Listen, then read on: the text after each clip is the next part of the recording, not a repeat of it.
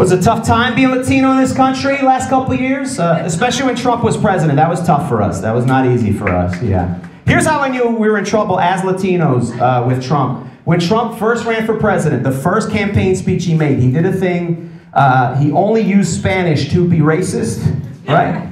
It was very subtle, but he'd put it in all his speeches. He'd be like, Mexico, they're sending their worst people. A lot of murders, a lot of rapists, a lot of bad hombres. the situation is very bad, no bueno. Which is why we have to move very quickly, and we cannot afford to go despacito. Chimichanga, Jennifer Lopez, Yo quiero Taco Bell.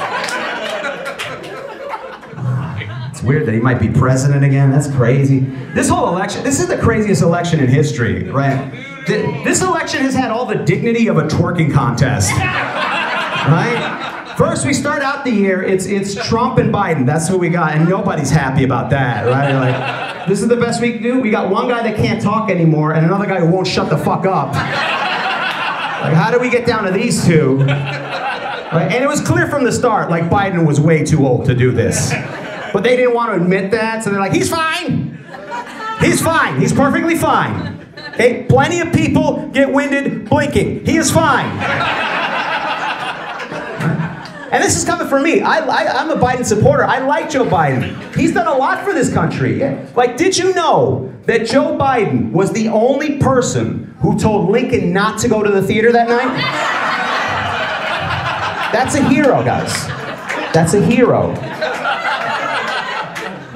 But then he debates Trump, and that goes so badly that America's like, yeah, maybe we can't vote for a guy who might start a fire in the White House making toast. Maybe it's not a good idea. Then Trump almost gets assassinated. That's wild, man. And look, as a person, uh, listen, I don't want anyone to die. I never want anyone to be killed. So, you know, I was glad that uh, Trump survived that, you know. But I did want him out of the race, so I had mixed feelings when I heard the news. And I was like, what happened to Trump? Is he okay? That's good. No, that's good. That's great. That's great. That is great. No, it is great. It is good. It is good. Then, if that's not crazy enough, the next week, Joe Biden, he gets COVID, which is wild. And Joe Biden's supposed to uh, survive the coronavirus, and he doesn't look like he could handle pepper on his eggs, you know? Like, if you put paprika, his heart is gonna explode. Forget it. Right? Finally, they convince, uh, they convince Biden to drop out. They go, we've done the research, and people do not want to vote for a guy whose enemies are going to be North Korea and stairs.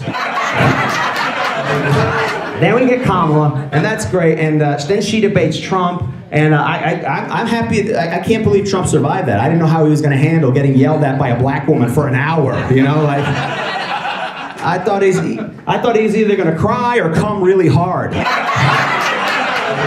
But he made it through. And I don't know, it's still close, which is wild to me. I'm not a Trump guy. My big problem with Trump is Trump likes to, he does this thing when he speaks, Trump likes to give himself compliments but act like other people said it. Like they're telling me I'm the smartest president there's ever been. They're saying this. I said, if you say it, it must be true. I don't know, I guess. I guess it must be true. Like one time he goes, they're telling me I'm, I'm, I'm, I'm more attractive than Kamala. They're telling me this. I saw it on the internet. They don't lie on the internet. It has to be true. They, they all say it, that I'm the sexiest president there's ever been. The, the Secret Service, they come up to me, they say, Mr. President, we have a problem. The, the women in front of the White House, they're getting so turned on, it's like a water park out there. It really is. I said, if you say so, it must be true, I guess. I don't know. All right? He loves a compliment. Trump loves a compliment. That's the biggest worry. That's if you give him a compliment, Trump is your best friend. That's why Trump's best friends are like Kim Jong Un, Vladimir Putin, right? Kanye West. Yeah. Right? That's not even a group of friends. That's like the entry ward in a psych hospital. Like you're telling me you're taking Halloween candy from any of those dudes? I'm not. Right? You, anyone could give him a compliment. The leader of Hamas could give Trump a compliment. Like, Donald Trump is the greatest leader. Donald Trump is number one. And the next day he'd be like, I'm not going to lie to you. I like these Hamas guys. They do a lot of great work at Hamas. A lot of great people. They say they're going to blow a hospital up. They blow that hospital up. They do it. It doesn't matter who you vote for. We're getting fucked either way because nothing changes, right? We're getting fucked. All you really get to vote for is like how you want to get fucked. Like, do you want to be fucked in the mouth or in the ass? Those are your two options. Two party system. That's your two options.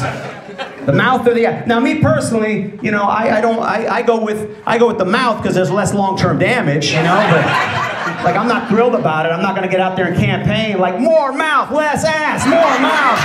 You guys have been awesome. Thank you very much. Good night.